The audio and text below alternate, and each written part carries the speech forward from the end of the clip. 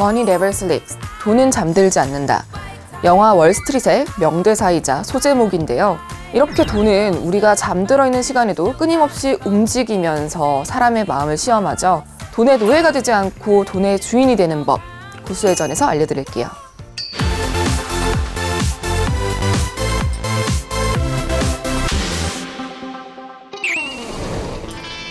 뮤직 큐!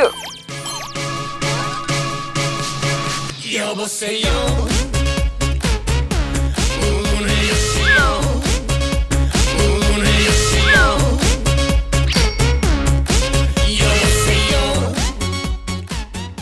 교수님, 네. 교수님께서 혼자 열고 들어오시는 걸 어색해 하시는 것 같아서 네. 오늘은 제가 함께 나왔는데 더 어색하시는 것 같아요? 네, 더 어색했어요. 네. 남희 씨 얼굴을 보니까 갑자기 더 어색해지는 것 같아. 왜 제 얼굴이 그렇게 어색하게 생겼어요? 아니요? 이쁘니까 또또 영혼이 당황스럽더라고. 영혼이 없다, 영혼이 없어. 정말. 오늘 또 어떤 전략 들고 오셨을지 궁금합니다, 교수님. 어, 좋은 종목을 좀 잘 골라서 우리 계좌를 배불릴 수 있는 방법을 좀 가지고 나왔습니다. 교수님 그러면 이 네. 종목을 어떻게 하면은 좀 잘 골라서 저의 주식 계좌를 좀 불릴 수 있을까요? 음, 어, 2,300개 종목들 중에 어, 물리적으로 우리가 다 취하기 힘드니까 어, down top 방식으로 종목들을 음. 고르는 방법을 제가 여러분들한테 좀 설명을 드리고 싶습니다. 어, down top 방식 좀 저는 처음 듣는 용어인데 네네. down top 방식이 어떤 방식이죠? top down 방식은요. 음. 어, 크게 경제, 음, 경기, 음, 산업, 음. 섹터, 종목. 종목. 그죠? 아. 아, 경기가 좋으니까 이쪽 섹터를 보자. 이 섹터 안에서 이 종목을 사자. 음. 이게 top에서 down 방식이고 음. down top 방식은요. 딱 그거랑 그렇죠. 반대겠네요. 반대죠. 음. 시장이 좋든 나쁘든 신경 쓰지 말고 음. 기업만 주목을 하는 거지. 음. 좋은 기업만 찾자. 음. 그러니까 한 종목을 찾아내는 방법을 우리가 down top 방식이라고 이야기하고요. 이 매매 방법이 좋은 이유는 한 종목을 딱 골라내는 거잖아요. 그쵸. 그러니까 소액 투자자들한테 적당하고 음. 또 단기적으로 또 수익도 좀 잘 날 수 있는 음. 오늘은 down top 방식으로 종목 고르는 법을 좀 음. 알려드리겠습니다. 네, 그럼 down top 방식을 어떻게 매매에 적용할 수 있을지 주식 디자이너 문 성투의 문을 열어줘.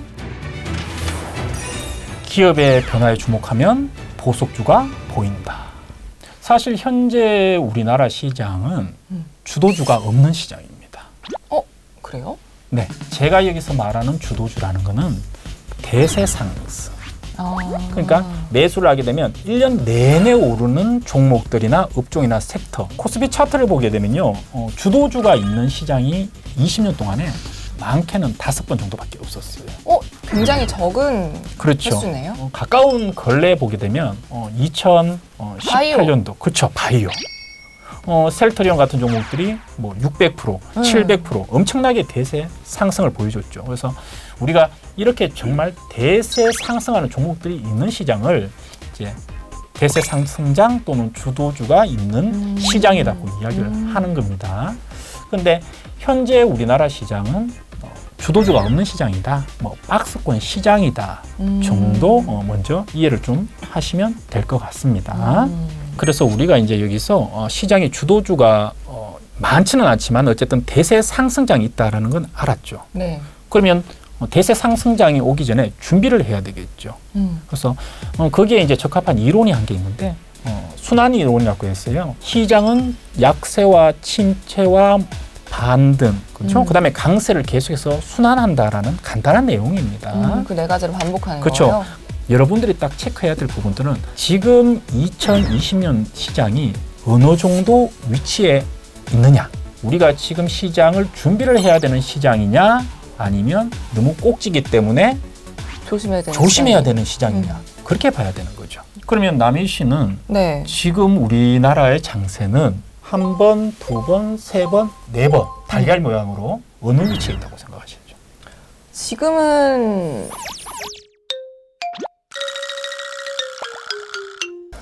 어 이거 좀 어려운데. 네, 네. 음,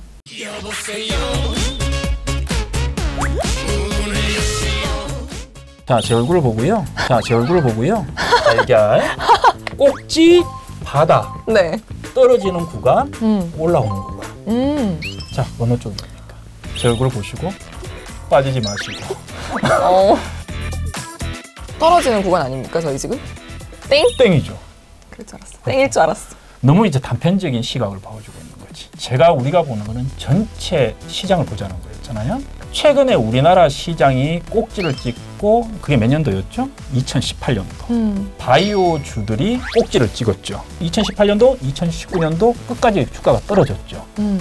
그리고 지금 어떻게 됐습니까? 올해 들어서 좀 시장- 올라가고 있었어요. 시장은 지금 이렇게 오르고 있는 종이죠.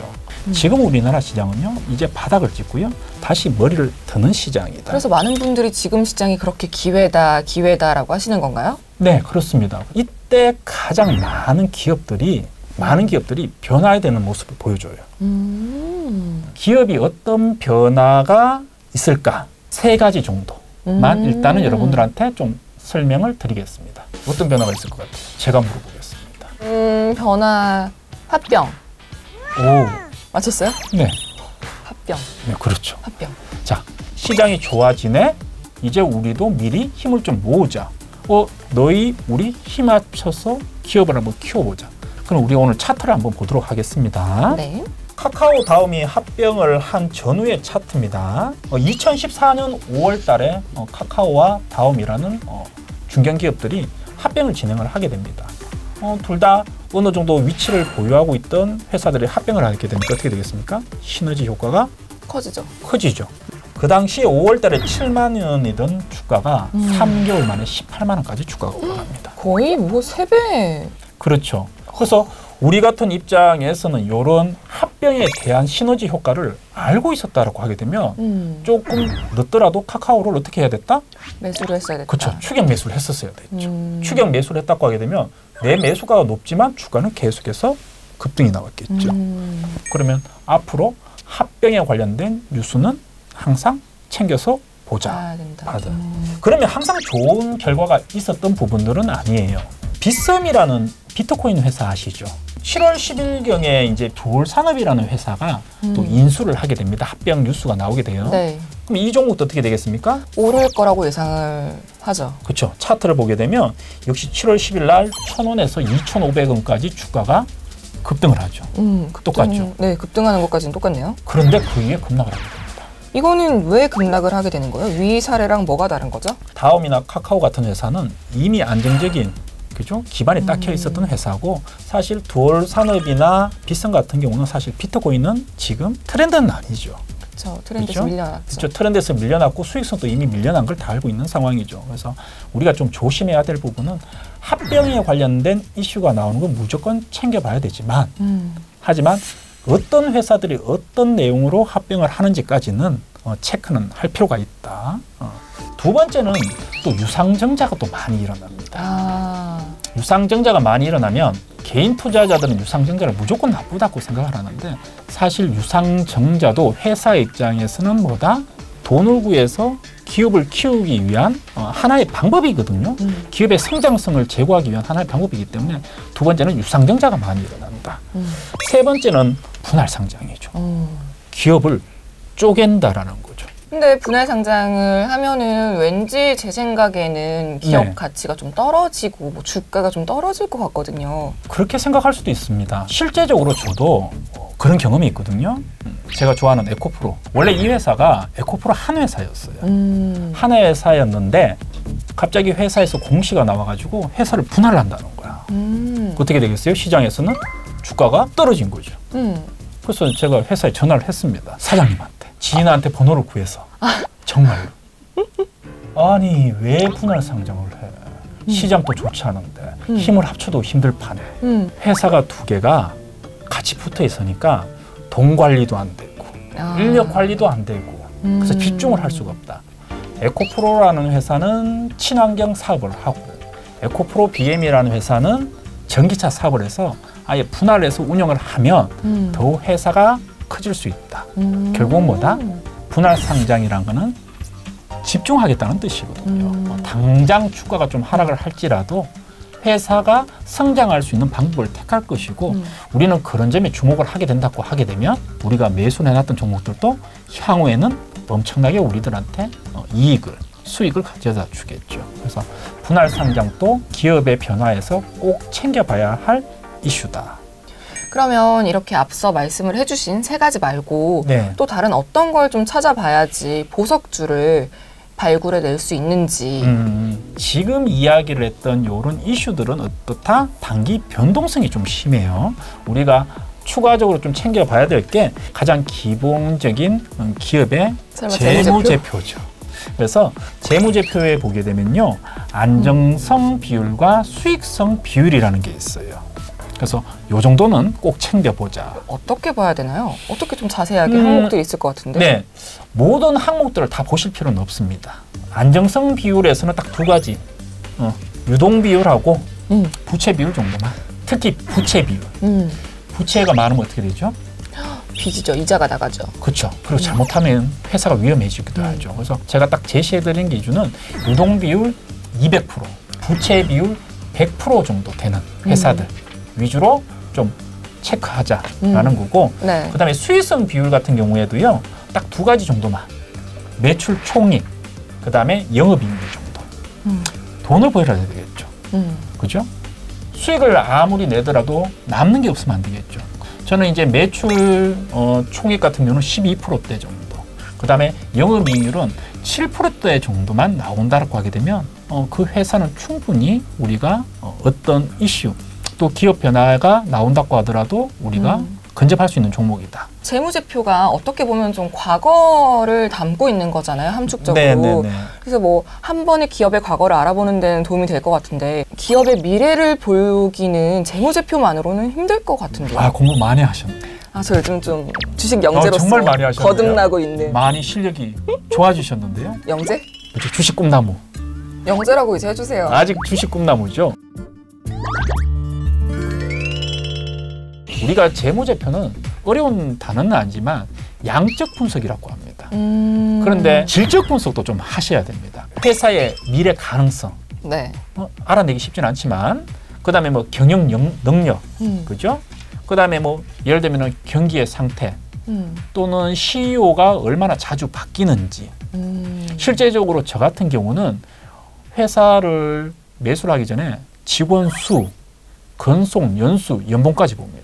어, 그렇게 디테일하게 봐야 돼요? 어, 여유가 되는 투자자들은 이 질적 분석에 대해서도 좀 관심을 가지시면 더 한 단계 레벨업 할 수 있는 어, 주식 투자자가 되지 않겠느냐 그렇게 좀 이야기를 해드리겠습니다. 고수님께서 종합적으로 이 모든 항목들을 보시고 네, 과거에 찾아내셨던 조금 재밌는 종목인데요. 음, 동양물산이라는 종목입니다. 2019년도에 어, 8월 28일 날 음. 하한가를 한번 갑자기 이렇게 장 끝나고 이렇게 떨어질 수 있나요? 이유는 417억의 유상증자 공시가 나오게 되죠. 그런데 음. 여기서 유심하게 봐야 될 부분이 있었어요. 뭐 봐야 돼요? 여기서 지금 유상증자의 내용을 좀 보게 되면요. 운영 자금의 107억, 타 법인 취득의 309억. 음. 그러니까 유상증자 한 대부분의 금액을 뭐 했다? 다른 회사를 사는데 아. 다른 회사를. 그렇죠. 유상 증자에 집중을 하는 게 아니고 아이 회사가 다른 회사를 매수한다고 보게 되면 아 유상 증자만 무조건 나쁘게 볼 게 아니고 음. 호재로 볼 수 있다는 거죠. 음. 그러면 어, 동양물산 같은 경우는 그 이후에 하한가가 나왔지만 이후에 주가를 보게 되면 어떻게 된다? 계속해서 주가가 올라가게 됩니다. 음. 이때 매도하신 분들 마음이 좀 아프실 것 그렇죠. 매도한 사람들 마음이 많이 아프겠죠. 음, 저는 지-? 지금 사실 전기차의 비중이 상당히 많거든요. 에코프로, BM 음, 음. 전기차 종목입니다. 에코프로 BM이라는 회사는 음. 어, 에코프로라는 회사에서 물적 분할이 되면서 그러니까 음. 2차 전지 관련만 운영하는 회사다 이렇게 보시면 될 것 같고요. 최근에 이 에코프로 BM이라는 주가를 보게 음. 되면요. 2020년도에 들어와 가지고 정말 가파른 상승세를 보여주고 있습니다. 그러니까요. 한달 만에 거의 그렇죠. 70% 이상 주가가 올라왔습니다. 저는 이 종목 역시 아직도 끝나지는 않았다. 오. 네.